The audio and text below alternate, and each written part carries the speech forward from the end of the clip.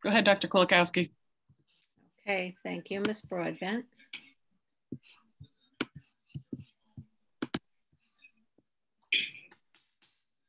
Good evening. Welcome to the Scotch Plains Fanwood Board of Education. Dr. Kulikowski. Okay, thank you, Ms. Broadbent.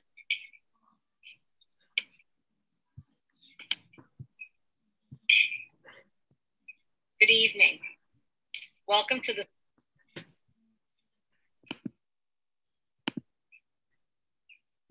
We okay, Robin? Yep, go ahead. Good evening. Welcome to the Scotch Plains Fanwood Board of Education Open Agenda Meeting, May 10th, 2021. This meeting is being held on, online and live streamed. Mrs. Saradaki, will you please call the roll? Mrs. Bauer, Here. Mrs. Boroff, Here.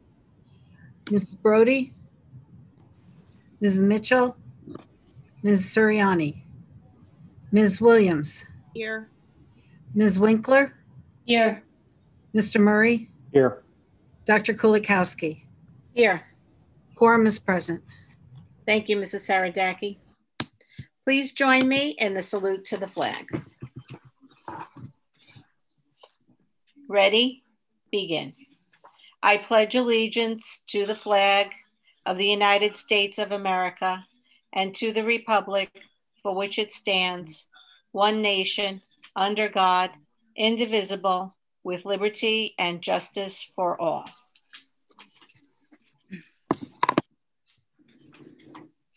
Thank you.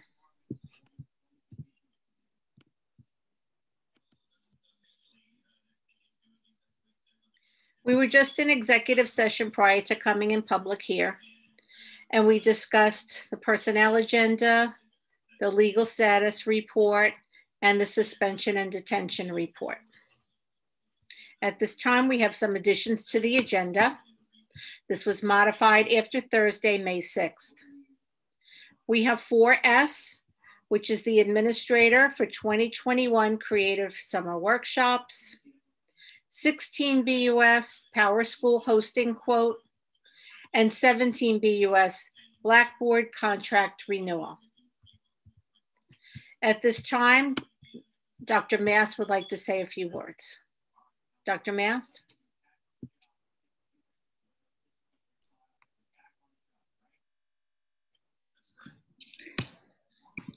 Thank you, Dr. Kulikowski. T- tonight, I, I have some sad news. Beth Mulvaney was a teacher at Coles Elementary School for over 20 years. She passed away last Saturday. She was a good friend, a, an amazing colleague, and a loving teacher. And she will live on in the hearts of her students and all of the people who, who have known her. Jennifer Glacken is a writer for the Scotch Plains Fanwood Times, and she is a close friend and a second daughter to Beth. She requested um, a moment of silence along with many members of the district. We will keep Beth and her family in our thoughts and our prayers. Please join me in a moment of silence for, for Beth.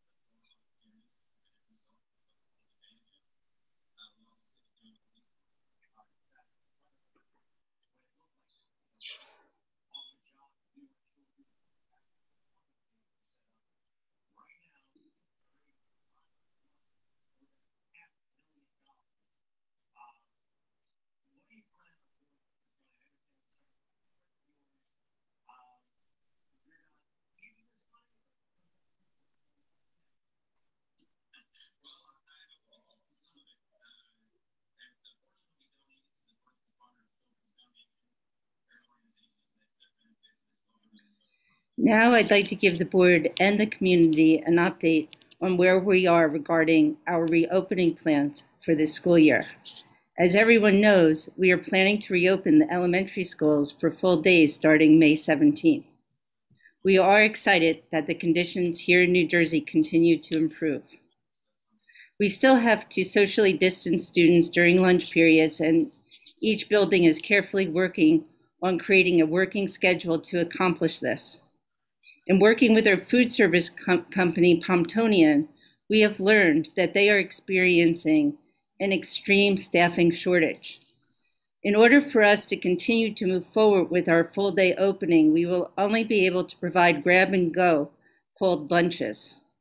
I strongly encourage parents to send their child to school with a delicious homemade lunch, if at all possible. Crafting these plans now has double benefit as it's helping us prepare for the full opening in September. Currently, the middle school principals are discerning the possibility to bring students back full time before the end of the school year.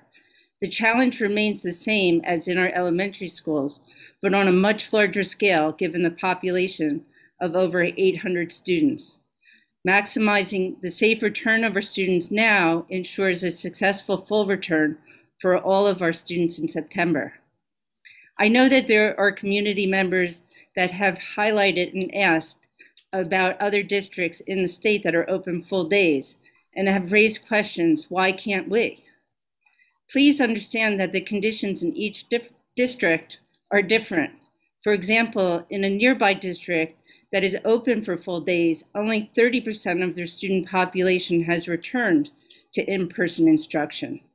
Here in Scotch Plains, we have 80% of our students back in their classrooms. At the high school, while they haven't come in for full days or had lunch, due to the block schedule that was implemented this year, there's only an eight minute difference in each class period. Students are dismissed to have lunch at home. There are 10 minute breaks in between blocks so students can go outside and have a snack and a and water if if they so desire. So the high school, though it isn't a, a, full day, it is very close to a full instructional day. Our deliberate, methodical, and safety focused approach to reopening schools has helped us to continue to maximize the return of students to our buildings. We are so happy that many of our end of the year traditions and rites of passage, like the prom and graduation, theater productions, marching band show, moving up ceremonies, and class trips will be in place, albeit modified to tend to the ongoing need to socially distance. We have every reason to look forward to a strong full opening in September. On a different topic, I want to acknowledge that I am aware that there has been a social media discussion regarding race and our schools. I want to be clear that the Scotch Plains Fanwood Schools are no place where we will tolerate anyone to sow the seeds of hatred. At the same time, I understand that people have had painful experiences while attending our schools. The board and I and the entire school community are focused on working with our community to make our schools a place where every child always feels safe and welcome. We are doing intentional work in diversifying our hiring in reviewing our curriculum, in amplifying student voices, and partnering with community members to make sure our schools serve all. One way the board has shown their commitment to this work is that the board has created a new committee for wellness and equity this year. This committee has created a task force that brings representatives from our schools, our community to come together as an opportunity to listen to each other and make actionable plans together. If you are interested in knowing more about this work, please call my office and I would be happy to talk about it with you further. Thank you, Dr. Kulikowski. Let's continue with tonight's meeting. Thank you, Dr. Mast. The New Jersey Open Public Meeting Law was enacted to ensure that the right of the public to have advance notice of and to attend meetings in public bodies at which any business affecting their interests is discussed or acted upon. In accordance with the provisions of this act, the Scotch Plains Fanwood Board of Education has caused notice of this meeting to be published by having the date, time, and place thereof posted at the Board of Education offices located at 512 Cedar Street, Scotch Plains, New Jersey. Such notice was also provided in a written notice and forwarded to the Times, the Star Ledger, the Township Clerk of Scotch Plains, and the Borough Clerk of Fanwood in the annual notice of regularly scheduled meetings as adopted March 26, 2020. At this time, we'll have our instructional update, which is the recognition of school nurses. So Dr. Dr. Kulikowski and all our nurses have always been essential in keeping our schools healthy for teaching and learning. This year, with COVID 19, our nurses have been available to support their buildings in so much, including contact tracing and in sharing safety protocols to, to keep to keep the schools open as safely as possible. Their dedication and commitment has been a source of strength for our entire SPF community. And now each principal is going to say a few words about their specific nurse. So starting with Brunner. Good evening, everyone. Thank you, Dr. Mast. Thank you, Dr. K. Um, the, the nurse at Brunner is a, is a gift. Uh, her name is Melissa Payne. Um, when I was thinking about a few words to say about Melissa, uh, I, I just thought about you know nursing as a profession, and I, I think the thing that's most beautiful about nursing as a profession is that at its fundamental core, it's a profession of caring, and Melissa shows that care in everything she does. It's like her essence. And I know there's a famous textbook for nurses that's literally called The Essence of Care. And Melissa really exemplifies that. She cares in her conversations with kids. She cares when she's putting band aids on their boo boos, even the ones we can't see. She cares when she's uh, talking with parents. She cares when she's helping teachers. And that care this year was like on display literally 24 hours a day and seven days a week. Melissa and I spent many weekends together uh, during the, the, the darker days of of the school year when our numbers were not as good as they are right now, and it wasn't uncommon for us to spend you know Saturday and Sunday on the phone working through different cases and scenarios. And even through all that, her care is what came across the most. Melissa is really um, a wonderful, wonderful asset to our school community, and you know, again, a gift uh, certainly to the kids, the parents, and the staff, and, and without a doubt to me. Thank you, Mr. Bortnick. I don't see Melissa here. She cares so much about her family that she that she couldn't join us tonight. She has three beautiful little girls who are very active in sports, and she wasn't able to attend. And I said, "Well, I'm still going to go and brag on you because the community deserves to hear how great of a job you're doing and how much you matter to Brunner." So, thank you all for indulging that, even though Melissa wasn't here. No, thank you for doing that. And please, uh, you know, take our word back to her that we missed her and we are happy that she is with her family right now, but we wish she could have been here too. So Sure. thank her for us. Will do. Dr. Weatherall. Thank you. Good evening.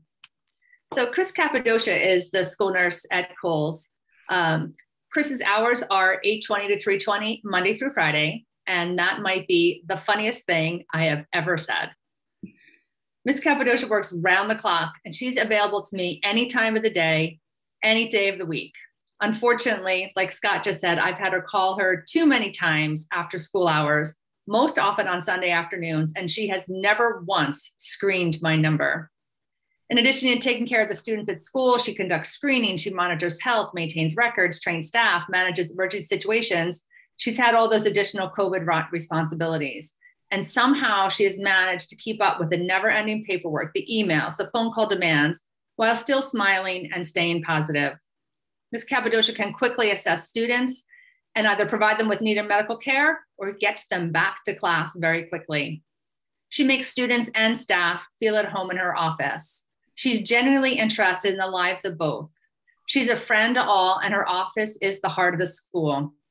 Ms. Cappadocia brings sunshine with her wherever she goes and makes working at a school a little brighter and a heck of a lot more fun. I thank Ms. Cappadocia for her being her whimsical self all the time and thank her for all that she does during school and well after school hours. Cole School really appreciates everything that she does. Thank you, Dr. Weatherall. I don't see Chris here either. Thanks. No, I'm sure she's resting up, waiting for the phone to ring for the next time that I have to call her late at night. Uh, well, please also extend to her. We, we were sorry she couldn't be with us, but we are so proud of her and thank her for being our school nurse at Coles. Absolutely. Thank you. Mrs. Halbert? Good evening, every, everyone. It's great to be here to share my gratitude to all our school nurses who have gone above and beyond this year as they've dealt with unprecedented issues of health and safety. It is a true honor to be able to say a few words about Evergreen's school nurse, Darlene Tomasulo. Earlier this year, Mrs. Tomasulo was awarded the Governor's Educational Professional of the Year Award for 2020 to 2021. Her nomination came from a nursing colleague who noted that this year was the year of the nurse, and it was fitting that Darlene's efforts as a district lead nurse should be recognized, acknowledged, and honored. I totally agree with these sentiments. I've had the privilege to work with Mrs. Tomasulo every day for the past 11 years. And in that time, I've been impressed with the depth and breadth of her medical knowledge, her ability to connect and develop a wonderful rapport with our students and their families, her strong work ethic, and most importantly, her unfailing sense of humor. Our staff has recognized these characteristics as well and frequently seek out her advice and guidance. In addition to all of her nursing responsibilities, she's coordinated our INRS team these many years and has demonstrated leadership, compassion, and creativity in our efforts. This year, Darlene's work as the lead nurse has been superior. I don't know if she gets any sleep because it seems every moment she is responding to a new situation and doing it with patience and grace. Darlene speaks the truth calmly and thoughtfully even when she knows it may not be what you want to hear. Keeping up with all the latest guidelines is daunting, and yet if you need to know something, she has the information at her fingertips or knows exactly where to find it. She collaborates so well with all the other amazing district nurses as they develop new, the new letters, the new protocols that are required in this ever evolving pandemic.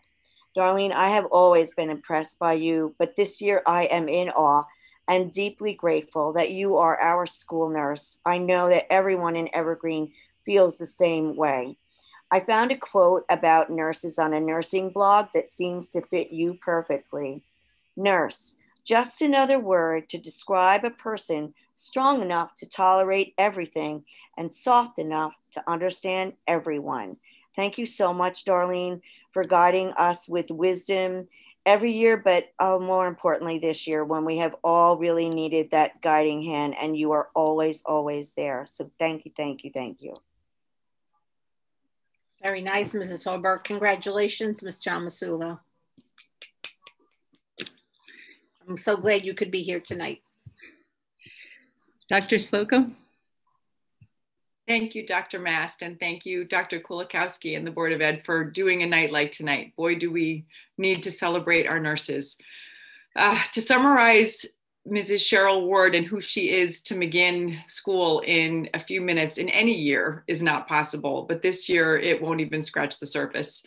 In just the past week, during Nurses Appreciation Week, Mrs. Ward has screened students, written letters to families about allergies, planned field day, covered classes, helped students navigate their meltdowns, isolated students with COVID symptoms, checked daily screenings, calmed staff members as procedures for the five full day return sink in, helped pass out lunches, sat with students at lunchtime, called families regarding their screenings, participated in INRS meetings, written dozens of emails to families about how long to quarantine following illnesses and trips, visited classrooms to check in on children needing some extra TLC, and many, many other things that are too numerous to list here.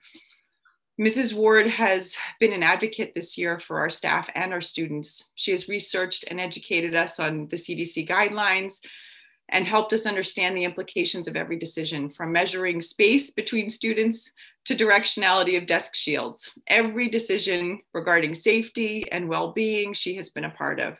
And well-being has been at the center of her work, as many of my colleagues have mentioned before.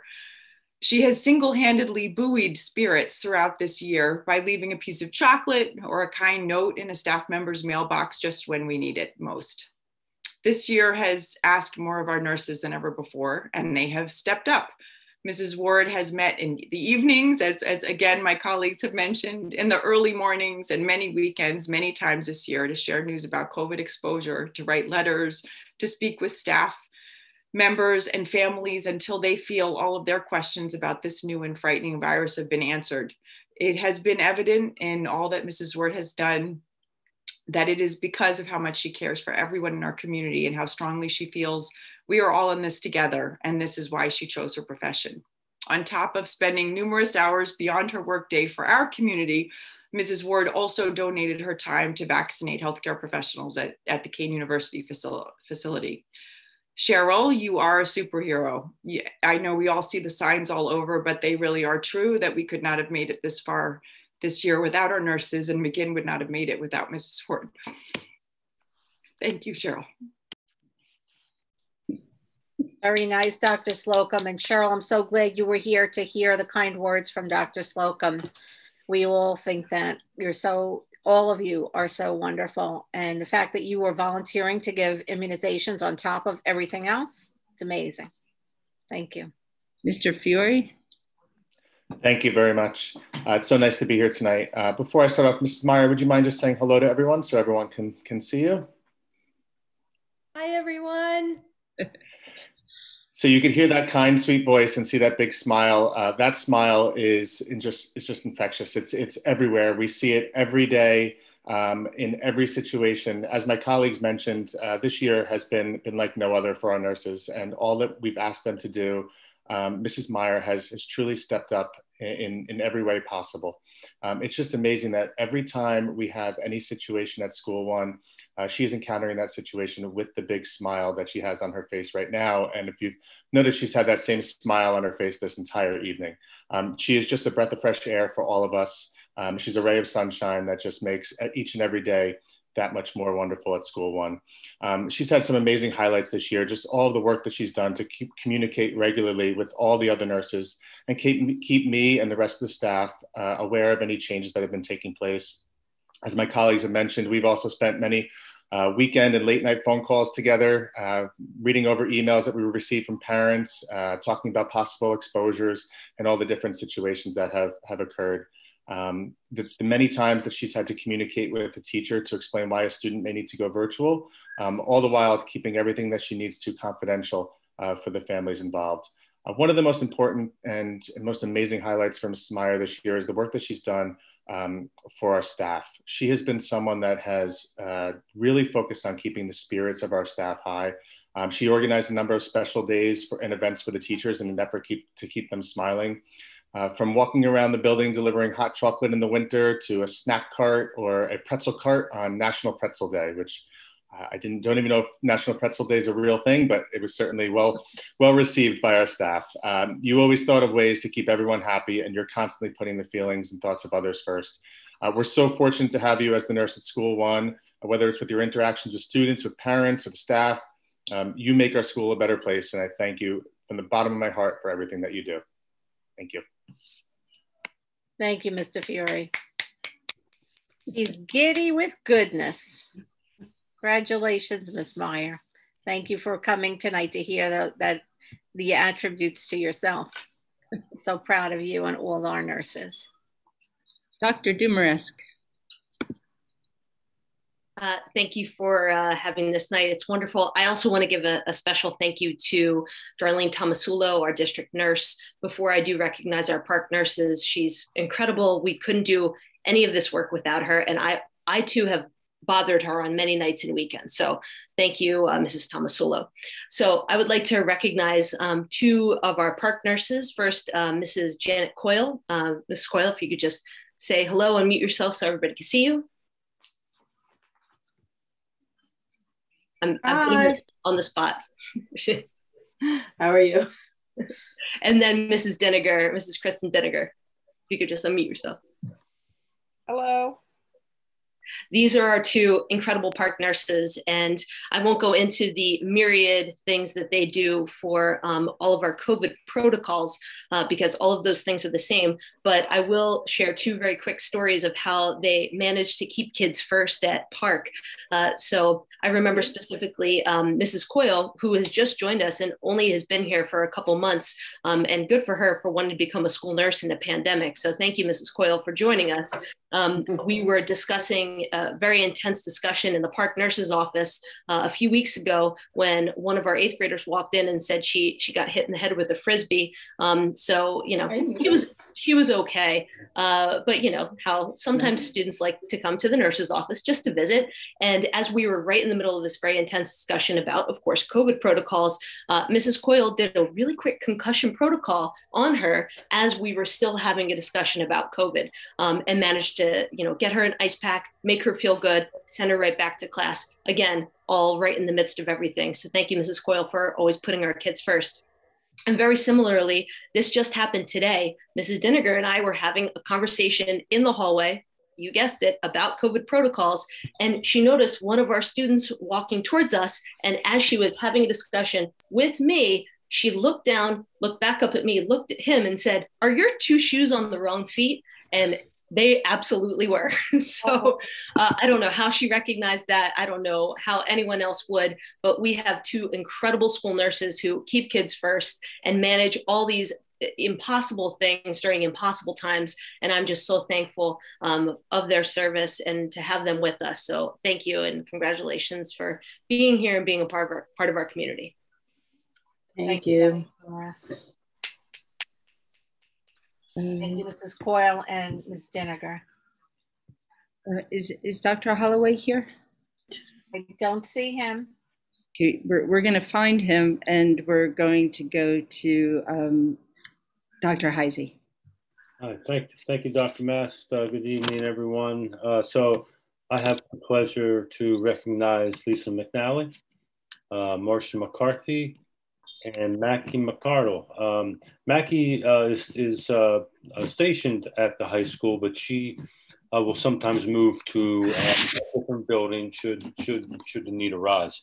Um, so, I mean, you know, thus far, every, everything that's said about each each of the nurses uh, applies to um, to, to the three nurses at the high school and and vice versa. What I'm about to say um, applies to everyone, and um, I, can, I, I, can attest to the fact that the nurse's office at the high school um, is a revolving door, um, busy and high energy environment under normal circumstances. Going to the high school nurse's office on a typical day without COVID 19, and it is a fast paced environment.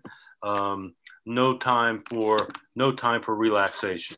Add to that the COVID-19 pandemic and all of its complexities associated with determining close contacts, determining quarantining for not only students but also staff and the many other issues associated with what we are currently facing and it has made their job even even more stressful. I mean, I can honestly say that the the high school nurses have yet to come up for air this year, and I think all the nurses can probably attest to that. It's just um, feels like we're just trying to keep the boat afloat, if you will, uh, each each and every day. Um, I can say that I greatly, you know, greatly appreciate all that the three nurses at the high school have done for our students and and and for our staff. Um, tough, de- tough decisions and conversations um, are had every day. Um, I mean, they're caring, they're compassionate, uh, they're cool under fire, and they will face any challenge that's presented to them. So again, it's my pleasure to recognize Lisa McNally, Mackie McCardle, Marcia McCarthy. Thank you so much for everything you do. Thank you, Dr. Heisey. So now we're going to go to Mrs. Rabimbis, who supervises the nurses, and she's going to speak on behalf of the Terrill nurses. Dr. Holloway must have had an emergency. So thank you, Lisa. Thank you, Dr. Mast. Um, I'd like to recognize Mrs. Lambo and Mrs. Pope. Um, Mrs. Pope is un unfortunately not with us, um, but I can say that both of them are, just like everyone has mentioned of, of our other school nurses, the the kindest warmest people that you can encounter. When you go into the school nurse's office at Terrill you're always greeted with a smile and they're always focused on students. And my my favorite story of mrs lambo um, a, a, couple of years ago there was a student who um, had just been diagnosed with diabetes and the student needed to to to check their blood sugar level and report their blood sugar level and be able to figure out what dosage of medicine the, the student needed. And mrs lambo was caring for two other students on the side and the student reported his the, the numbers to her and she she quickly responded. The student took care of himself responded to her and and and went back to to class. She took care of the other students and the two of us were alone. And i said how did the student know how to do that and and and she was so sweet. She goes i trained them and and just that's that's karen. She's she's a kind warm person always available to anyone whether it's our students um, our parents and our teachers. And and i thank you karen and and please let Janaea know how much we appreciate her and all of the time and dedication that both of you have given the Terrill middle school community. Thank you and, Mrs. Bimbis, can you make a, a, closing comment before Dr. Kulikowski moves us on to um, the next part? Surely, as, as the supervisor of the, the school nurses, it's been an incredible year. And I can say, um, I, I, always knew as a school principal that the school nurse was was by far um, one of the most important people that that worked with me. Um, but I will say this year, the school nurses are are a major force in our school community in keeping us healthy and safe. Um, you know, on a typical day they do those things that make children feel better. They give them a healthy snack, rejoice with the treasure of a lost tooth, and give them a safe place to rest when they don't feel well. Um, they provide students with a calm, supportive environment that eases their nervousness when they deal with these complex medical issues. Their support extends to parents and staff um, at each and every school this year they have been most important the most important school-based medical resource during the covid-19 pandemic they've researched the virus participated in a vast number of training sessions and kept up to date on the evolution of the virus cdc guidelines and the department of health guidelines most importantly, their voices have led our school community in maintaining a healthy and safe environment in which all of us can learn and work. I am grateful for their dedication, their tenacity, and their collaborative spirit, and always keeping me on my toes to make sure that I am up to date in everything that needs to get done and communicated um, to our school community. I also want to extend a, a, very warm thank you to Mrs. Tomasulo.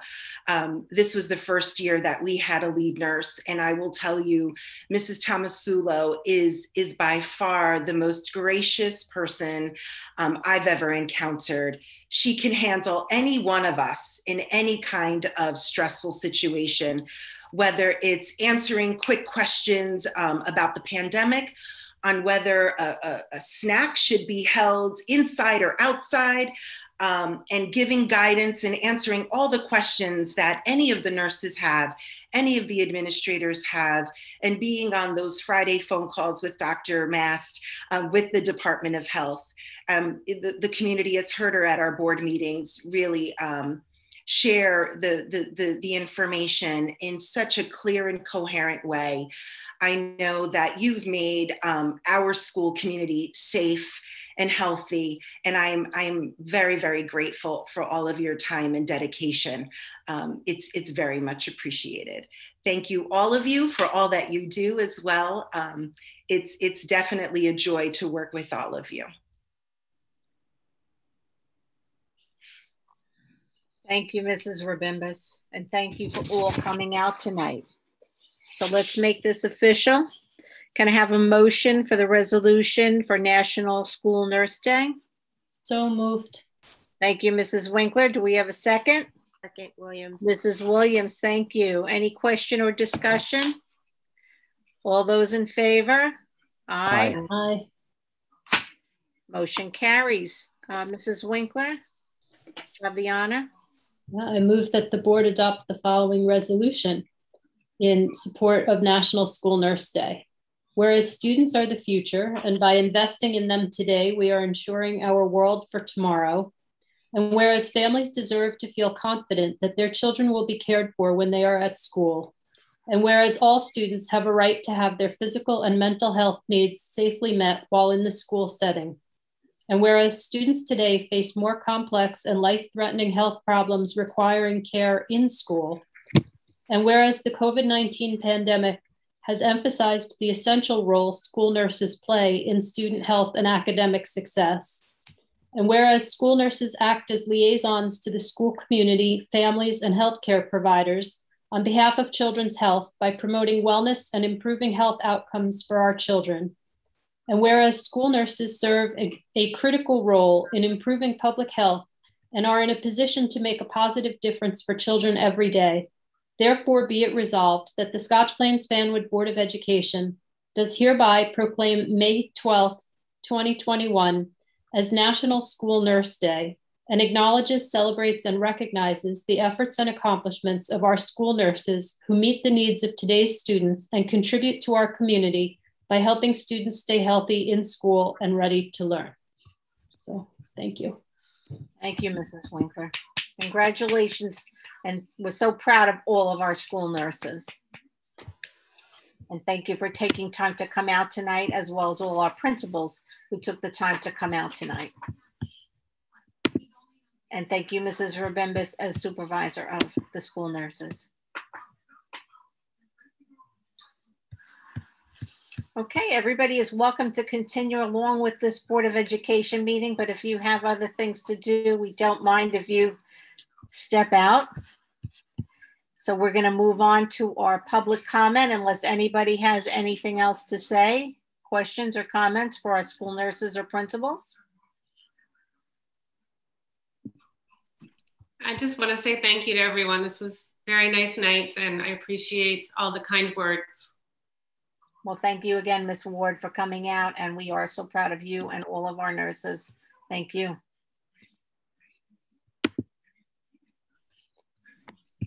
Uh, Ms. McCardle, hi, bye. Bye, and thank you very much. Oh, thank you.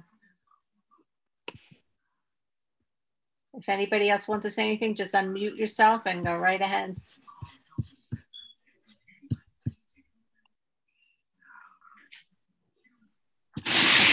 We'll move on to the public comment. If you would like to make a public comment, please go to spfk12.org for your Zoom login information. In accordance with the Scotch Plains Fanwood Public School Bylaw 0164, 0165, we will open the meeting for 15 minutes for public comments. Maximum three minutes per speaker. Speakers addressing superintendent items, business functions, and other board business will be heard first. And if time remains, speakers may address other matters. If you would like to make a public comment, please go to spfk12.org for the Zoom login information. And when it's your turn, please unmute yourself, state your full name and the town in which you reside. Please note, board members cannot respond regarding concerns of individual students or staff members, and such matters should be addressed with the superintendent's office. So Ms. Broadbent, do we have someone ready to make a public comment? Yes, Dr. Kulikowski. John Denning.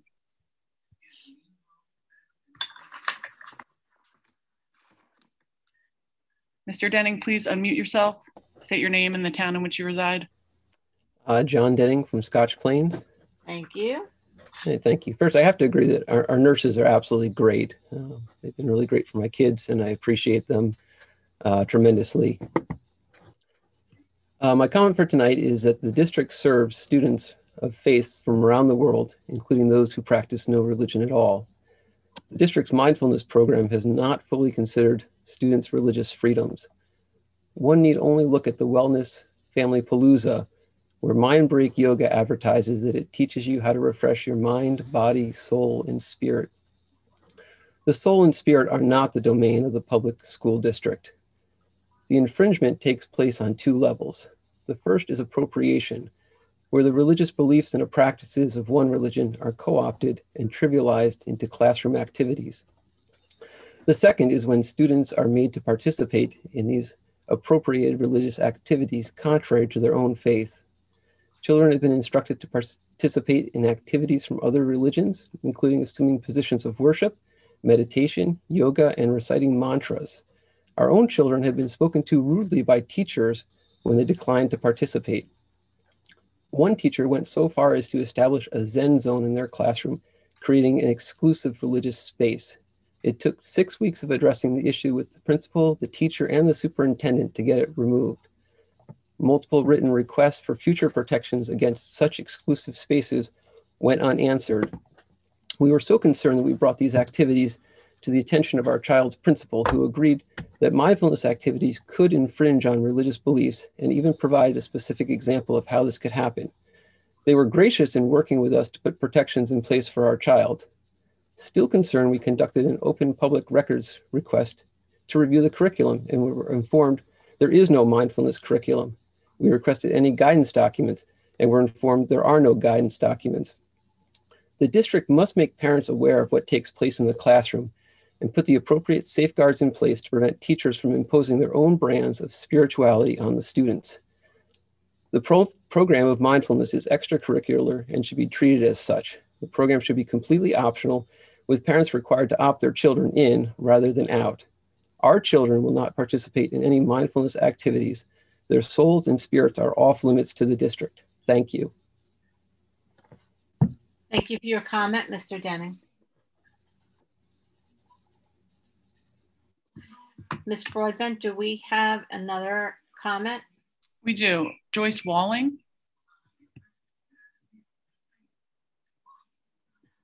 Hi, Ms. Walling. Please unmute yourself. State your name and the town in which you reside. Uh, hi, my name is Joyce Walling. I'm calling from Scotch Plains. Thank you. Good evening. I'm calling with two questions. With the elementary schools returning to full day next week, I'm just wondering why the pre-K will not return to quote unquote full day and leave at 1120 instead of 1105. And second, Dr. Mast, I know the middle, the middle school and the high school will remain half days for the rest of this school year, but return to full day in person next school year. What do you see as being different in September to allow the middle school and high school to return to full time then instead of now? Thank you. Thank you for your comments, Ms. Walling. I think Dr. Mast mentioned in her words at the very beginning of the meeting that there are some difficulties with the food service staff um, at this time, not with the food, but with having people there in order to prepare and serve. So there will be meals available for grab and go, just not to eat indoors. And that is why we're sending people home for lunch aside from not having space enough to have everyone socially distanced during the meal period. Dr. Kulikowski, uh, that that's um, that that's true. Part part of the part of the challenge is just that the middle schools are so much bigger than than the elementary schools. To state the obvious, um, you know, and we we've been doing this incrementally. So you know, we're, we're opening the elementary schools on the 17th. I, I will get the specific answer regarding pre-K. Um, please call my office, um, you know, tomorrow afternoon if, if you would, and I, I could speak to that um, in, in, more detail. Um, for part of, part of the challenge is is just the spacing for meals. Even though you know the, the conditions are getting much better, um, you there was a great article in the New York Times that talked about exponential growth in the way that the, the virus spread, and now we're experiencing exponential decay where it's really dropping very rapidly. And we've been, we've been watching that. We, we knew that it was trending in that direction, and we've responded accordingly. As we look to see if we can um, consider opening the middle schools, part of it is what Dr. Kulikowski said and what I mentioned in the, the beginning of the year. It's not only how can we find the space within the middle schools to, to do the lunch because we still have to um, approach the social distance of six feet. Um, now we have an added challenge where the, the food service, just like I've heard and read about many restaurants, are having trouble finding staff to do that work at this time. Um, in September, there will be some conditions around unemployment, et cetera, where, where people will be returning to work and, and that, will, um, that will remove that obstacle. But we're, we're, we're, we're still looking as we know the conditions, we're, and we're hoping that the conditions will continue to get better to, to see if we'll be able to have a trial run um, at, at, all levels. So, so that remains to be seen. But we do know that we will be doing it um, on the 17th at the elementary. So that's that's why. Thank you, Dr. Mast. Uh, Ms. Broadbent, do we have another uh, public comment? Uh, no, Dr. Kulikowski, there are no hands raised. Okay, then I'll close this portion of the meeting and move on to the committee reports. Does anybody have a committee report this evening? Mr. Murray. Thank you, Dr. Kulikowski. I have a uh, facilities committee report. We met on May 3rd. Um, there was two items on the agenda. One was a request for approval for a boiler replacement at the high school. Um, but at this point in time, the committee was requesting additional information um, for more of a district-wide inventory regarding the full needs of the district, um, both in the mechanical space as well as um, any of the other um, needed needed um, areas on the facility side. So we've tabled that one until we get additional information. And then the second was uh, our director of operations provided a risk assessment regarding the tent proposal. Um, she identified multiple areas that were unfavorable for purchasing tents across the district. So at this time, um, the committee felt that it was not in their best interest to proceed with the tent purchase due to the expense. Um, but some of the other items that were noted included security, setup, removal, storage, and some other um, safety factors. And that concludes my facilities report. Thank you, Mr. Murray. Any questions for Mr. Murray about the facilities report? Thank you, Mr. Murray. Are there any other reports to be heard this evening? Seeing none, then I'll close this portion of the meeting and move on to letters to the board. Uh, one email was uh, received by the board and it was addressed by the proper administrator.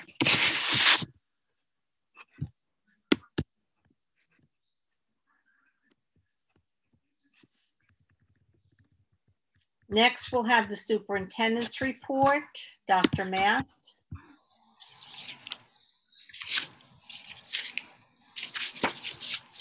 Thank you. So for 1S, I would like to make the motion for the board to approve the, the listed private and public uh, extended school year placements. I have a motion? So moved. Second, Boroff. Thank you, Mrs. Winkler. Thank you, Mrs. Boroff. Any question or discussion? Seeing none, all those in favor? Aye. Aye. Any opposed? Any abstaining? Motion carries. And for the next board meeting, I will be asking the board to approve the school nursing plan, um, the matrix of forms, and the administrator for the creative summer workshop. Okay, thank you, Dr. Mast. And moving on to the personnel agenda, I'm asking the board to approve the superintendent's recommendation that we discussed in exec this evening. Do I have a motion? So moved. Thank you, Mr. Murray. Is there a second? Second, Winkler. Thank you, Mrs. Winkler. Any questions or discussion regarding the personnel agenda? Seeing none, Mrs. Sarajaki, will you please call the roll? Mr. Wink, uh, oh, Mr. Murray, Yes. Mrs. Winkler, Yes. Mrs. Bauer, Yes. Mrs. Boroff, Yes. Mrs. Williams, Yes. Dr. Kulikowski.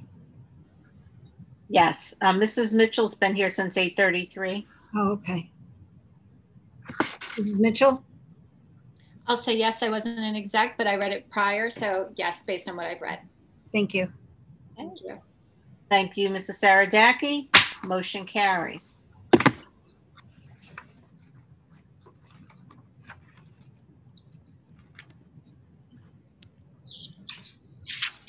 Thank you, Dr. Mast. That brings us to the business functions. Uh, Mrs. Sarajaki, whenever you're ready. Okay. Um, One BUS, I'm asking the board to approve related services from Brett Denovi and Associates in the amount of $10,400. Two BUS, I'm asking the board to approve submission of federal grants as follows. Uh, That's ESSER two for $377,287. Learning Acceleration for 25,000 and Mental Health for 45,000. That submission is due later this week. Three BUS, I'm asking the board to renew Aetna uh, for the renewal period of July 1st, 2021 through June 30th, 2022. And that is at a 3% rate decrease from last year. Uh, The Del- Delta Dental Insurance is completing the first of a two-year contract where there'll be a 0% increase. Those are the only three I believe that I'm asking. Let me just check. We had two additions to the agenda. I believe those are the only ones I'm asking for board approval this evening. Okay. So can I have a motion for those three items for Mrs. Saradaki? So moved, Boroff. Thank you, Mrs. Boroff. Is there a second? Second. Second, Thank you, Mrs. Winkler. Any question or discussion on those items? Seeing none, all those in favor? Aye. All, any opposed? Any abstaining? Motion carries. Thank you, Mr. Saradaki. Uh, At our next meeting, I'll be asking for the annual approval to acquire services, purchase supplies for 2021-22 on the part of the business administrator. Five BUS, I'll be asking for the contract renewal with Power School Consultation Services at $3,600. That's a decrease of $3,000 from last year. Six BUS, I'll be asking for the contract renewal with Strauss Esmay Associates for 2021-22 for the same services that we currently have in the amount of $4,785. Seven BUS, I'll be asking for renewal of the agreement uh, with Union County Ed Services uh, for um, transportation, and that's uh, still at a 4% administrative fee. Eight BUS, I'll be asking for approval of the official depositories for the 2021-22 school year. At this point, there's no change in any of them over prior, over last year. I'll say nine BUS. um, We should have the contract for the food management service for 2021-22. Um, And that's where we will, um, we anticipate returning to normal next year as far as food services. 10 BUS be asking for the approval of the athletic equipment reconditioning bid, the annual bid for the reconditioning of equipment. 11 BUS, we will have the bid award for the used computers that were approved by the board to go out to sell. Um, and that's for the MacBook Airs. 12 BUS, I'll be asking for the board's acknowledgement of the receipt of fire and security drills for the month of April. 13 BUS, I'll be asking for the board's acknowledgement of receipt and approval of the uh, April um, Board Secretary's Report, Treasurer of School Funds Report, and budget adjustments. 14 BUS, I'll be asking for the board to acknowledge receipt of disbursement listings for the month of April. 15 BUS, I'll be asking for the board's approval of the bill list. 16 BUS, I'll be asking for the board to approve uh, Power School hosting in the amount of 13830 for Power School for migration and hosting services. I'm sorry, that period should be um, June, uh, July 1st, 2021. Um, well, May, it could be May 1st. The, it's broken into two pieces, May through June and then July through June. So the total is 13,830. Um, this will exist with our current uh, hosting service for the two month period to make sure everything transitions over correctly. Um, we did a comparison. We're having some issues with our current hosting service for Power School, and Power School has improved their hosting service. So we're moving back to the Power School hosting, uh, and the prices are very comparable. And then we have our Blackboard contract renewal in 17 BUS, and that's for the website and content management of the website. And that's $15,890 for the year for next year. And that's all I have. Thank you, Mrs. Saragaki. Okay, Then that brings us to other board business. Anybody have any liaison reports?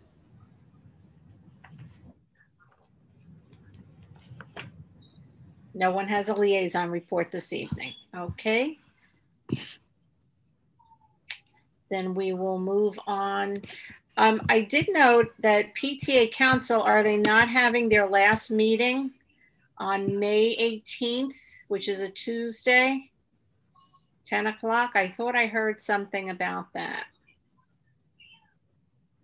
I don't know offhand who is the PTA Council liaison. I think that's Deb, right? No, that's me. It's Oh. May 18th at 10 a.m. Okay. That's the final meeting for the year for them. Thank you. And that includes the past president meeting. Thank you, Amy. Um, re- any uh, requests to attend workshops? Seeing none. That will bring us to uh, approval of the minutes at our next meeting. There are minutes from April 22nd, executive session and the open agenda meeting. April 29th, executive session and the regular board meeting. And now it comes to the second public comment at this time. So if you'd like to make a comment, please go to spfk12.org for Zoom login information. In accordance with the Scotch Plains Fanwood Public School Bylaw 0164 and 0165, the meeting will be open for 15 minutes for public comments with a maximum of three minutes per speaker. Speakers addressing the superintendent items, business functions, and other board business will be heard first. If time remains, speakers may address other matters. So if you would like to make a public comment, please go to spfk12.org for Zoom login information.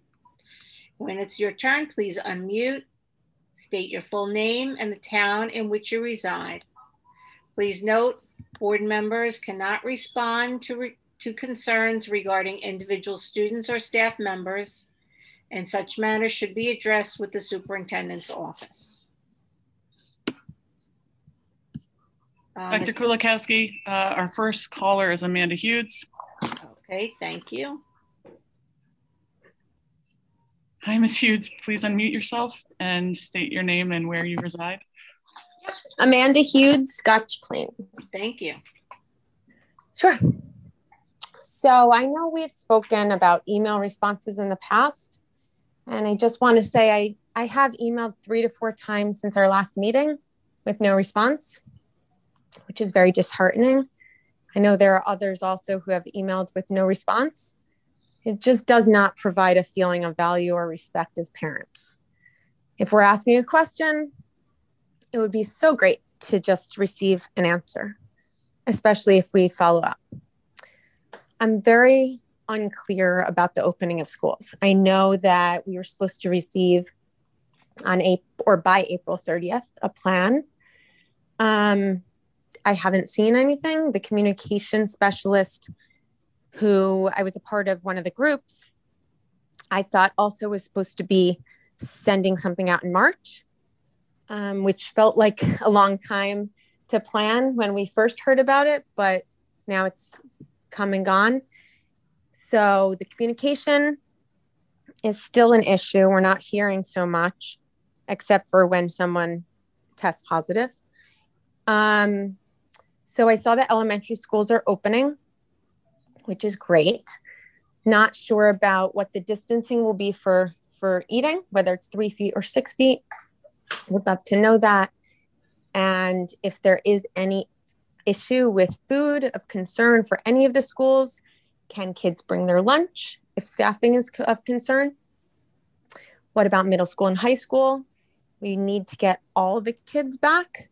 They all have different reasons for getting back, but it's important that all kids get back, not just elementary school, especially when it's been over a year now. As we've seen with so many schools in New Jersey, they're safe to open full day. Our numbers are, are doing well right now. And as we've seen with many schools in New Jersey, they're safe to open. There's no transmission. We need to open. And there's a lot of um, discussion around it, but I'm still very unclear about the plan to open for this year and what will change for next year. Why are we more sure about opening next year? What's going to change? What's the plan? What's the plan A? What's the plan B? What's the plan C? What are we doing to get our kids back? Thank you. Thank you for your comments, Ms. Hughes.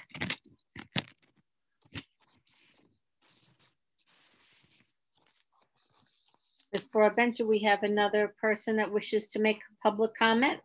We do. Vicky Dembiak would like to make a comment. Ms. Dembiak, please unmute yourself, say your name and the town in which you reside. Vicky Dembiak, Scotch Plains. Thank you. Dr. Mast, I have read through the PowerPoint presentation that was sent out regarding the move to five full days for elementary students. The presentation cites the following three reasons for the move to full time. Students benefit from the experience of a more typical day before the end of the current school year. Students have more time in school for continued learning acceleration and increased social skills development. And teachers and administrators have the opportunity to address the challenges of operating a regular school day with COVID mitigation strategies in place, and as a result, to be better prepared for a full opening for the fall semester. I would like to applaud you and the district for making such an important decision for the younger children in our school district and for recognizing not only their academic and educational needs, but also those related to their social and emotional well being. But I also have two questions for you. First, can you please help me and other parents understand why our middle school and high school children are any less important? or any less deserving of being afforded the opportunity to address these same critical needs by opening the middle school and high schools, middle schools and high schools now for five full days as well. And second, can you please answer the question that was asked of you earlier tonight?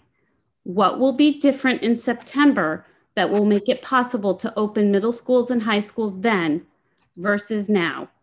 Especially since this will be our third week in yellow on the risk matrix, and we are directionally headed towards green and will most likely be there by the end of this week or next. Thank you. Thank you for your comments, Ms. Stanbeck.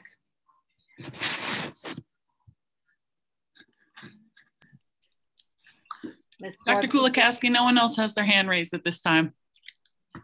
Okay.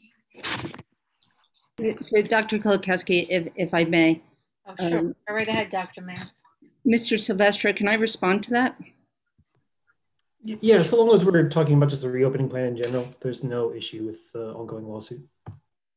Thank you. So, so I, I did mention, you know, earlier in the evening that, um, you know, we, we are starting with the elementary. The reason why the elementary um, is, is the most doable is really a case of proportional reasoning. Re- reasoning. They're, they're smaller, um, the schools are smaller, and, and there's more space. So when we get to the middle school, we, we are um, we have 800 to 900 students. We have 80% of those students attending. So creating the space with social distancing to, to eating is, is, is a bigger challenge. So one of the challenges is, as I said earlier in the meeting, you know, having the staff to serve the, the food that our food service is unable to, to um, ha- have those employees available. Um, as as um, I also said in my opening comments that hopefully parents will be able to, you know, provide lunch and knowing that our, our food services will only be able to provide, you know, grab and go cold lunches. Um, I, I too have, um, you know, been looking at the predictive data all along, watching the trending in directions. We've seen the data take U-turns in negative directions, and now we are seeing the data take a U-turn in a very positive direction. I, I had referenced the article from the New York Times about exponential growth in, in the increase of COVID at certain points of this year, and now we're experiencing exponential decay, and we're watching the numbers drop very rapidly, very promising. And you know, the good news for for all of our kids is that uh, the conditions are getting better. Um, for the end of the year, we have a lot of end of the year activities that have happened and will be continuing to happen. Um, at the high school, it isn't a typical full day, but they have not. They they're missing eight minutes per class. So since the high school is in a block schedule, there are four blocks a day, and the classes are only eight minutes shorter than they will be next year. We just put the lunch block, block at the end of the day so the kids go home and have lunch. There are 10 minutes in between each block. So if kids need a snack or water, they're able to, to go outside and have that. So the high school is very close instructionally to be back to um, normal, and it has been since since we've collapsed the cohorts and brought invited all students back. Um, the middle schools, again, uh, that that's the piece that if we're able to, we've been going incrementally. We want to be successful with the elementary, and we're looking to see if the middle school is possible. I'm working with the the middle school principals to, to consider that. Um, in that same opinion article in the New York Times that talked about the exponential growth and exponential decay, they also mentioned that the biggest error you can do is to open too quickly. Because we do know that there are COVID cases. It, it just takes one for it to have great contagion. And we want to make sure that we're doing it very safely so our kids do not lose out on the end of the year activities. So that's where we are, and that's what we're considering. And one more thing, the, the, the communication plan, uh, our, our communication consultant did do a survey. She collected all of that data. She met with focus groups, and she's helping us put together a plan that is going to be in place moving forward. Unfortunately, she, she had a, a number of personal challenges, and the, the results and the reporting out of that plan have been delayed, but it will be coming in the near future. Thank you, Dr. Mast. And Dr. Kulikowski, if I may add to what Dr. Mast was saying. Yes, go right ahead. Sure, a couple things. Uh, I know a number of members of the public were asking about things that might change between now and September for the reason for reopening. Uh, first and foremost is the increased vaccinations of not only the staff, but the students as well. As the CDC and the FDA continue to approve on an emergency basis vaccines for uh, younger and younger children, uh, we can actually see students at the middle and high school grades uh, receive those vaccines before they come to school, which obviously makes um, things like social distancing, mask wearing, and issues like that a lot easier to deal with. Uh, as of right now, the CDC is still recommending uh, six feet of social distancing uh, at all grade levels when uh, when eating, uh, which is uh, quite a um, planning issue at all school levels, but particularly the, the middle and the high school. Um, when you have a full day, the, the district will be required to serve lunch, um, not just allow kids to bring their own, to actually serve a lunch as well. So that requires a level of planning and distancing that we're just not equipped for at the moment. Uh, and we are hoping to be by September. In fact, we are planning to be by September. Um, other things include uh, the bus schedules need to be amended and reflected. Uh, there's a level of planning for scheduling. You know, right now we try to cohort the, the, the grade levels at middle and high school so that the same group of kids stay together. Uh, that's an issue that's going to have to be addressed for September that isn't going to be easily addressed by the end of the school year. Um, normally, kids move from class to class; they don't stay with the same kids, uh, especially at the high school level. Uh, they don't all take the same classes or have the same teachers. Um, that's the kind of cohorting that's happening now to keep kids together to prevent the commingling of groups. Um, as the virus continues to recede, which we hope it continues to recede, uh, this is another thing that we're going to have to, um, to uh, Ms. Dembiak's point of plan A and plan B is kind of the, the loosening of cohorting so that kids can get back to more normal class taking at the high school levels. These are all things that just, uh, from a practical perspective, can't change on a dime. And so between now and uh, as you heard a lot of the principals in speaking about the nurses about the kind of day-to-day challenges of the COVID protocols, um, right now a lot of the schools are kind of trying to keep their heads above water for the day-to-day challenges, uh, uh, planning for September. It takes a long time of planning out uh, to make these things happen. And so that's a number of the reasons why the district's actually being proactive by, by announcing a date by which this is going to happen rather than just kind of opening the floodgates and dealing with the problems as they occur. So thank you. Thank you, Mr. Silvestro. Appreciate those clarifications from both of you. Uh, Ms. Broadbent, was there another hand raised? Yes, Dr. Kulikowski. Melissa Wolf would like to make a comment. Thank you. Hi, Melissa. Please unmute yourself and state the town in which you reside. Hi, yes, this is Melissa Wolf from Scotch Plains. Thank you. Um, so on the topic of the children returning five full days at the middle schools, my son is in fifth grade. Um, it's my understanding that the fifth graders don't really change classrooms, same as the elementary school students do, except for their specials. I'm not sure why they're not included in the phase back plan starting on Monday as part of the kind of trial and experiments we've been talking about at the middle school level. Um, I, I assume there would be plenty of space in the classroom to follow the same protocols that were announced in the PowerPoint slides that we got for the elementary schools. Um, you know, I think half of the class is eating their lunch for 15 minutes, and then the other half of the class will be eating their lunch for 15 minutes. Not sure why these same rules can't be applied to the fifth graders at least to get them back into school for full days. Um, my son personally has been spending a lot of time on YouTube in the afternoon, and I think he would really benefit from being back in front of his teacher in person for a full day, even if it is for a very short period of time while we kind of walked through the end of the year. Um, I will reiterate what Amanda and Vicki said and asked for. Not really sure what we expect to be different between now and September. I understand there's probably a lot of planning that goes into place.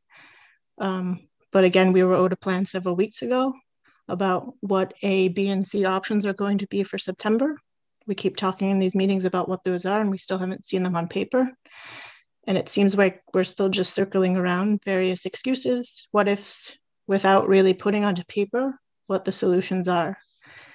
We talk about high school and middle schools not being able to eat lunches. Wherever the kids are at 11 o'clock why can't they eat lunch in their classroom same as the elementary schools are doing? I know they rotate i know they have block classes. Seems like there's a lot of simple solutions that we can enact to make sure we get them all lunches. We offer them all lunches and they eat during the day at a reasonable period of time. Doesn't seem like it's so hard to figure out because all the schools in New Jersey are figuring it out now. I would just ask that you guys consider releasing the plans out to the public and the parents and addressing all of these things, you know, in a clear, concise manner as we've been asking for all along. Thank you. Thank you for your comments, Ms. Wolf. Ms. Broadbent, are there any other hands raised? Um, yes, um, Amanda Hughes would like to make another comment. And is there anybody else being that she spoke already? Not at this time, Dr. Kulikowski. And this will be our last one.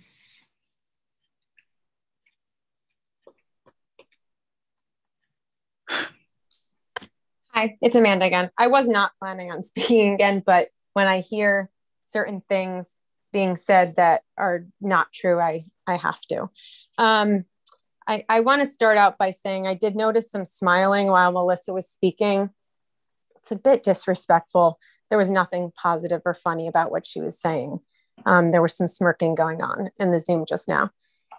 Um, I want to address what Doug was saying because we can find a solution. What I teach my kids is that we don't believe in the word can't. We can find a solution and we can do it in the next few days, much less the next few months. I'm working an event this weekend with over 200 guests. Guests eat together at tables. As I had mentioned to Dr. Mast last month, and months before that, when we were working together to try to get tents as well, they can pod together very easily at tables. And if someone tests positive, they can quarantine that one table. There are solutions. We are sitting on it right now. We open restaurants, we open events, we open everything except what our children need most school. And it's unacceptable that we are acting this way. We are partying, we are going out, we are probably acting more irresponsible as adults, not, not saying we, including myself, I'm saying as a general whole, than the kids are who are listening, who are wearing their masks, who just want to be back at school and need to be back at school. So, Doug, we can find a solution. Will we? Thank you. Thank you for your comments, Ms. Hughes.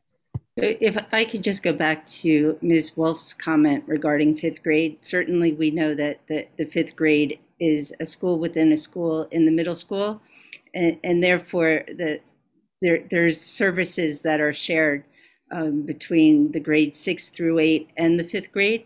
That one one of the big ones is uh, busing. So when we we did consider, you know, would it be would it be possible to um, to, to focus on the fifth grade, and and it was actually more complex um, be, because because of the the busing um, the busing needs.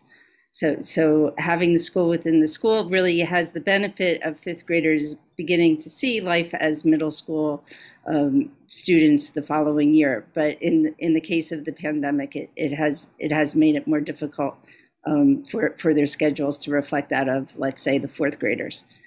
Um, so, so there there was also just another comment about the schools in New Jersey being open, other schools are doing it. And I, I, just want to reiterate the comment because I have been looking and following those schools. I've had conversations with Amanda. She shared the list of schools that she had that are open full time. And you know that's what we all want too and and we've been working towards that like where we are in scotch plains is is a good place considering we have our kids back in the elementary um, for, for the five days. We collapsed the cohorts. Now we're moving to the full day. We know that where we end the year will, will be part of the planning for the opening in September. And the schools that are open, for example, the one that is very close to us and is a much bigger district than us, they are open K to 12 full day. And I'm like, wow, how did they do it? And I called and I investigated. They have 30% of their students back. So they have the real estate that makes it much easier. And I think if you look at a number of the schools that are open that way, their conditions are different. So it's it's we we have the blessing of having 80% of our students back. That blessing comes with just the need to make more space. And when you need to make more space, it, it's it's when they're eating. And yes, at the elementary level, half the students are eating at a time, while the other half waits to eat, and that's how we're getting the six, the six feet social distancing. It it becomes more difficult in the middle school and the high school because of just because of the fact that they're they're bigger schools with more kids in them. Thank you, Dr. Mast. Okay, Ms. Broadbent, are there any other hands raised? Not at this time, Dr. Kulikowski. I'm going to close this portion of the meeting and move on to our upcoming scheduled meetings. Wednesday, May 26th, there's a staff recognition at 3:30. Uh, Location and is to be determined. Thursday, May 27th is our regular public meeting at 7:30 for exec, 8 o'clock for the public portion. Uh, Again, location or streaming to be determined. And just as a reminder that the instructional update for our next board meeting on May 27th will be the recognition of the girls varsity gymnastics and the girls varsity volleyball, along with the recognition of the PTA presidents and PTA council president for their service. Do we have any remarks for the good of the order? Mrs. Winkler? Hi, I was able to participate in some of the classes that the teachers led this week uh, for wellness um, in the in the evenings, and um, I just want to say a thank you, a shout out of thank you to our, our teachers for doing that. It was really lovely, and um, and I really appreciated it. So that's all. Very nice. Thank you, Mrs. Winkler. Mrs. Mitchell? Thank you, Dr. Kulikowski. Just a reminder that the latest edition of Caregivers Corner is in the inboxes for the K through five parents. Um, if that content speaks to you, I highly recommend it. And thank you for our student support specialists for putting it together. Thank you, Mrs. Mitchell. There are there any other remarks, Dr. Mast? I had the opportunity to attend the marching band show with Mrs. Winkler, and it was it was amazing. There, the, the it was it was well supported by by the parents and the marching band fans, and it was just really great to hear our students playing on the field again. I could hear that from my yard.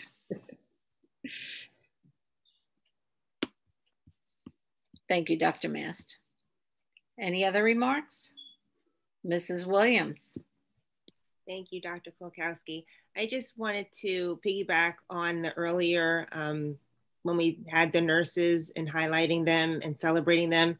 As a mom who has um, kids in the school district and kids that are out of the school district, when you see the school number pop up on your phone and the nurse immediately eases you and says, There's not an emergency, there's no emergency. So I just want to again thank the nurses, thank them for their hard work and patience because um, no names mentioned, but one of my children spent a lot of time in the nurse's office, mainly, I think, just to avoid a class. But um, I just want to say we appreciate them and thank you so much. And I also had the opportunity to go to a couple games on Friday, the boys' baseball game they won and they're they're on a really good streak. So congratulations to them. And i did get a chance to see some of the girls softball team. I don't think they won but they have some really good players. So it was exciting to see a lot of the marching band was out lacrosse was out. So it was a good friday. Thank you. That sounds great. Thank you mrs williams. Any other mrs bauer um, I just was going to thank the community for turning out for the food truck festival. At least the lines were really long, so I hope they made a lot of money for the seniors, and uh, I think it was a great event. Thank you, Mrs. Bauer. Dr. Mast? I, I would like Dr. McGarry to talk about Schoolhouse Rock. Dr. McGarry? So I, I just um, wanted to share what a what a wonderful experience it was to see students performing live for me for the first time since um, before the pandemic and um, to see students doing something that they're passionate about in the arts really filled my soul and the soul of lots of folks who were in in the park that day or in the in the uh, village green i guess as it's called mm-hmm. um, so kudos to um, the directors for their perseverance in um, you know finding an outdoor location um, to to do the show and for um, involving so many children in in the performance. It was a great event for the community. Thank you, Dr. McGarry.